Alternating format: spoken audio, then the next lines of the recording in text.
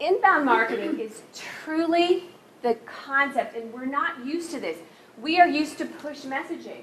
We're used to saying, I got you, babe, because you're watching that TV show and you're going to watch my doggone commercial, right?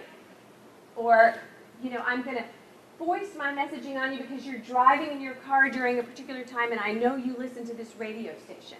So when you step back from the push messaging that we're used to, that we've grown up to, with, and you look at today's way of using a website and creating a really compelling website filled with fresh content on a regular basis that feeds your website, which feeds search engines, which feeds your customers, which feeds your prospects, and so it delivers leads to you on a regular basis, that's inbound marketing.